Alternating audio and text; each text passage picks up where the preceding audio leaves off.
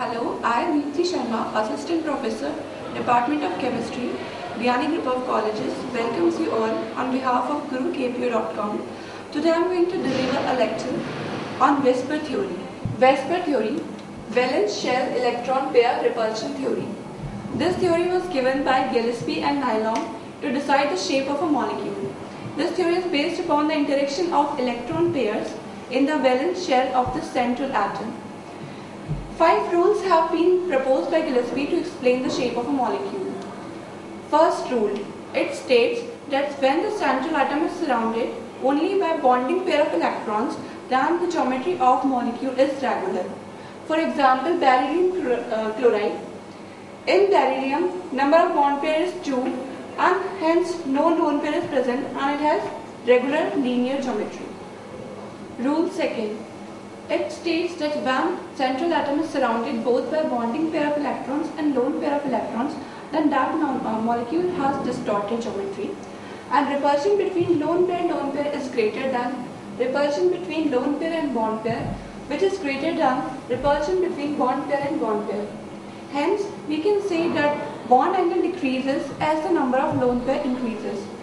For example, in CH4, carbon molecule, number of lone pair is 0 and the bond angle is 109.5 degree.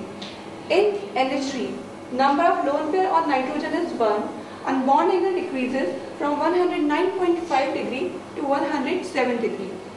Next, in H2O, number of lone pair is 2 on oxygen atom and hence here bond angle decreases from 109.5 to 104.5. Rule third, it states that bond angle decreases as the electronegativity of the atoms attached to the central atom decreases. For example, in ASI3, the bond angle is 101 degree and when we shift to ASBr3 here, bromine is more electronegative than iodine, hence the bond angle decreases and in ASCl3, bond angle decreases to 98.4 degree. Rule 4 states that when uh, repulsion between electron pairs in filled shells is more than the repulsion between electron pairs in incomplete filled shells.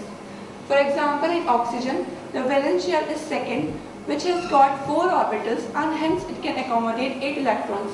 Hence it is completely filled. But in H2S, the valence shell is third.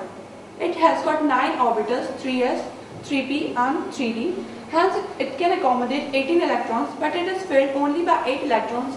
Hence it is incompletely filled. Therefore the bond angle in H2 is greater and uh, is greater than the bond angle in H2S.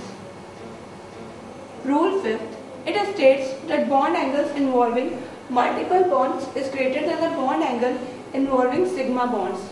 For example, in COCl2, the bond angle between oxygen, carbon and chlorine is greater than bond angle between chlorine, carbon and chlorine.